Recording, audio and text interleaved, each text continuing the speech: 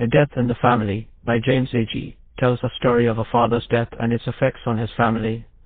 A young man named Jay Follett is suddenly forced to assume a mantle of adulthood he is not prepared for and a responsibility he does not want.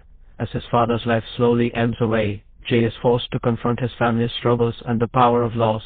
The story paints a vivid picture of the pain and anguish of tragedy and its aftermath.